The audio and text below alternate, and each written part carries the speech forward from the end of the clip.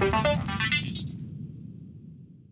Ebben az évben ünnepli 50. születésnapját a Nyíregyházi Krúdi Gyula gimnázium, és ennek a gimnáziumnak a 11. C osztályából érkezett Henkó Mátyás hozzánk, mégpedig a távoli Afrikából, nos hát nem most éppen, nem most szállt le a repülőről, viszont két hónapot töltött ott a Rotary Nemzetközi Diákcsere programnak köszönhetően. Hát szia Mátyás, nagyon sok mindennel érkeztél, de gondolom, hogy ettől jóval több mindent hoztál a csomagodban, amikor hazaérkeztél Afrikából. Abban én is biztos vagyok, itt a Nyíregyházi Rotary Klubnak köszönhetően két csodálatos hónapot töltöttem el a Messis Dél-Afrikai Köztársaságban, melyet ezúton is köszönök a Nyíregyházi Rotarynak.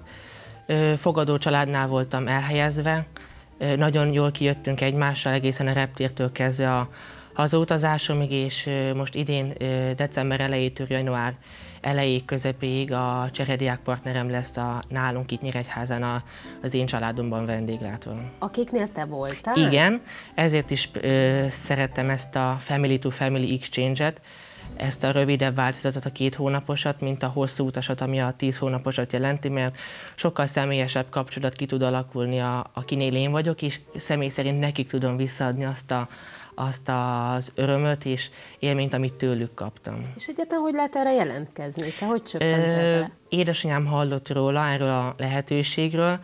Eh, ahogy egyre többet mondogatta nekem, nekem is megjött hozzá a kedvem, és végül tavaly ez időtájban adtuk be a jelentkezésemet, úgyhogy ha esetleg még most valakinek eszébe jut, hogy szeretne cserediák lenni, akkor még nem késett el belőle, bátran tudom ajánlani.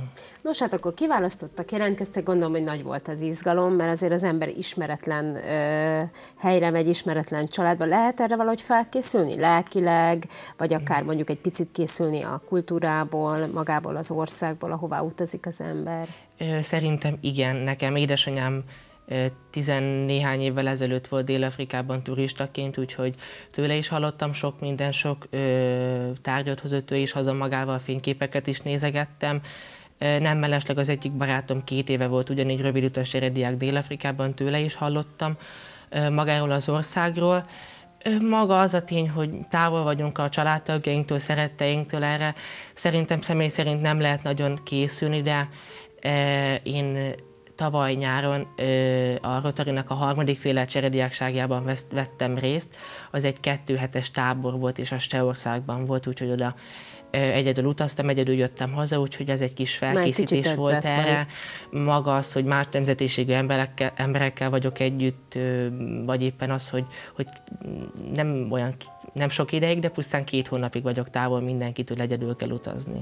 Nos, hát azért Afrika mégsem Európa, ugye, és ott nem fehér holló, de hát fehér emberként, bár ugye Dél-Afrikában azért nagyon sok fehér bőrű ember is él, mégis azért azt gondolom, hogy egy különleges élmény lehetett. Mi volt a legizgalmasabb, ami esetleg olyan volt, amire nem is számítottál, vagy amiből a mhm. legtöbbet tanultál mondjuk?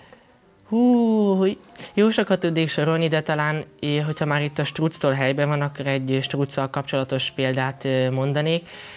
A fogadó családom egy ilyen dél-afrikai áll, mi állatparknak mondjuk, de ott ez sokkal természetesebb az állatoknak, sokkal nagyobb területjük van, és abban volt egy kert, ahol struccok voltak, szurikáták vagy pelikánok, és oda a saját felelősségre be lehetett menni, és egyszer véletlenül beszoroltunk kettő struc közé. Uh-huh, és hoztál is tollakat, Igen, ugye? ezek a tollak, ezek abból a kertből származnak, a földről szedtem fel őket, abból a kertből, és számomra nagyon élvezetes volt, hogy kettős truc közé beszoroltunk, és ott izgultunk, hogy most meg fog nekem minket kergetni, vagy sem. és mi lett a vége? Szerencsére maradtunk egy helyben, és megúsztuk, úgyhogy semmi bántódásunk nem esett. Nagyon kellemes élmény volt nekem, hogy Dél-Afrikában egyes helyeken a gepárdot házi állatként tartják, és az egyik, egy tíznapos szafari túrán is vettem részt, és ott az egyik szállásunkon gepárd volt is mondták nekünk, hogy azért gyerekek vigyázzatok, itt gepárd is van a, a tábor területén belül, és hát gondoltam, biztos majd a másik végén is, és tíz perccel később meglepődötten tapasztaltam, hogy itt mellettem sétált el, és egy pillanatra is meg is ugrottam, utána meg attól ijedtem meg, hogy, hogy nehogy megijedjen tőlem, hogy én felugrottam, úgyhogy ezek nem nagy dolgok, de számomra nagyon értékesek és nagyon emlékezetesek ezek a kis pillanatok. Nyilvánvalóan ugye különleges az éghajlat, az ott a növényzet és az állatok, de azt gondolom, hogy maga az élet is. Van-e olyan dolog, amit gyakorlatilag azóta mondjuk egy kicsit más, amiről másképp gondolkodsz? Tehát egy, tudom, hogy nem hosszú idő és nem évtizedeket töltöttél ott, de mégis volt te olyan élményed, amitől egy picit megváltoztál talán a gondolkodásod, az emberekkel mhm. való viszonyod? Mm, ételekben mondanám, hogy én úgy érzem, hogy most sokkal több mindent megeszek itthon, mint korábban.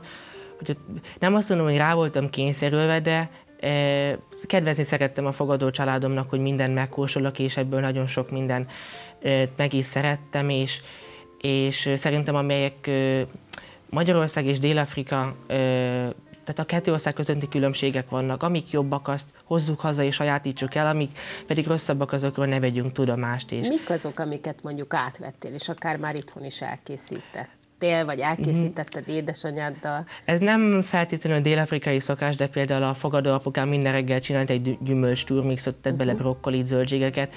Nagyon, és ezen voltam elcsodálkozó, hogy nagyon finom volt még Korábban azon voltam elcsodálkozva, hogy ezt hogy lehet meginni, és ezt ma is itthon végzem ezt a tevékenységet reggelenként. Közben itt a nézők látják a csodálatos képeket, ugye itt éppen orszarvuk haladnak át az úton, aztán gondolom, hogy ott a safari túrán készültek a képek, és rengeteg jókedvű diák, elefántok, tehát nagyon, nagyon sok diák között voltál. Egyébként gondolom, hogy angol nyelven kommunikáltatok.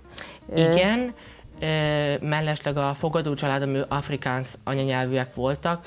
Dél-Afrikában 11 hivatalos nyelv van, ezek közül az egyik az afrikáns, és ez egy fehér nyelv. Uh-huh. Fehér emberek beszélik, és ezokból kifolyólag ott az iskolámnak a nyelve az afrikáns nyelvé volt, így a tanítási órádból sajnos nem értettem semmit, de a szünetekben tudtam angolul beszélni a, a társaimmal és a barátaimmal, mert ott az angol az iskolában is kötelező, és ezáltal mindenki tud angolul beszélni. És milyen volt úgy suliba járni, hogy gyakorlatilag úgy el voltál a kis világodban, mert igazándiból ugye nem tudtad követni az óra menetét?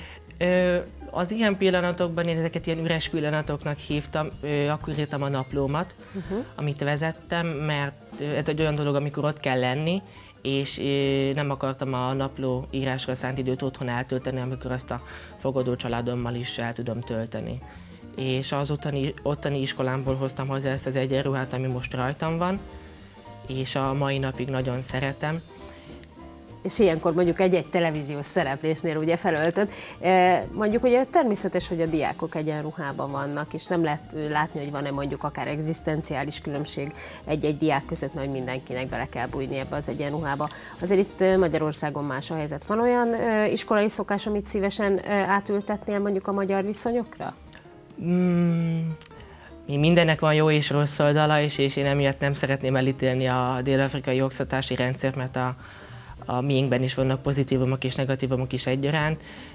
Annyit tudnék mondani rá, hogy más, és személy szerint, ami számomra más volt, az újdonság volt, és emiatt élveztem ezeket a dolgokat, úgyhogy sok olyan dolog volt az iskolában, amit akkor élveztem, de például nem viselném életem végéig az egyenruhámat. Tehát most így két hónapra tök buli volt az egész, uh-huh. de, de hogy 12 éven vagy még utána egyetemen, hát abban már nem az vagyok már egy kicsit sok. Minden esetre most tényleg ez, ez szép emlék. E, Mátyás, hát akkor lassan készülni kell, ugye? Mert jön a, a cserediák igen, hozzátok. Igen. Hogy készültök így a család? Mennyire fog felbojdulni a ti életetek azzal, hogy becsöppen hozzátok? Itt a családtagjaink és a barátaink is egy kicsit felfesdültek, hogy hogy milyen különleges vendégünk lesz, és emiatt terveztük, hogy ők fognak minket meglátogatni abban az időszakban, amikor ő itt lesz, vagy például itt Nyíregyházan és amit a megyénkben, vagy éppen az országunkban csodálatos helyek vannak, oda el szeretnénk majd őt vinni. Nem mellesleg az neki nagyon különleges lesz, hogy nálunk milyen hideg van télen, mert azért arról ne feledkezzünk, hogy amikor nálunk nyár volt most, ott tél volt a fordított évszakoknak köszönhetően, így ott a leghidegebb az mínusz 2 fok volt, amit átéltem, a legmagasabb az pedig 32-35 Celsius fok. Uh-huh. A kettő nyilván nem egy nap alatt történt, egy olyan hónap különbséggel, de számunkra ez is drasztikus változásnak tudható. Szegény, és... akkor ő fázni fog majd fűteni. Igen, és nekik a maga a hó is különleges lesz, úgyhogy nagyon reménykedünk benne, hogy havas karácsonyunk lesz idén. Mátyás, hoztál egy hatalmas nagy magyar zászlót, illetve hát vitted, ugye, oda? Igen. És itt rengeteg, rengeteg aláírás, gondolom, hogy ennyi emberkével találkoztál ott, akik Hát jóval több emberrel találkoztam, mint aki írt rá. Inkább csak azokat kértem meg, hogy írjanak egy rövid üzenetet és egy aláírást, akivel egy kicsit személyesebb kapcsolatba kerültem, és a későbbiekben emlékezni fogok rájuk. Már csak egy kérdés, Mátyás. Hová készülsz? Gyönyörűen beszélsz, nagyon összeszedetlen ö, fejezed ki a gondolataidat. A továbbtanulásomat illetve? Van, mi leszel, ha nagy leszel? Jelenleg most biológia, kémia fakultáción vagyok a Krudi Gyula gimnáziumban, a gyógyszerészi pályán gondolkozom, de nem kizárt, hogy esetleg reklámszakember vagy agrármérnök legyek, és a színház iránt is nagyon érdeklődök. Az utóbbi időben keltette fel az érdeklődésemet. Hát nagyon multikulturális vagy, úgyhogy köszönjük szépen, hogy eljöttél hozzánk, és én e, megpróbálom ezt a szerkesztőmmel megbeszélni, hogyha itt lesz a diák Afrikából, akkor esetleg vele együtt ismét eljöjjetek ide a weekendbe, úgyhogy köszönjük, hogy velünk voltál. Én köszönöm is. a lehetőséget.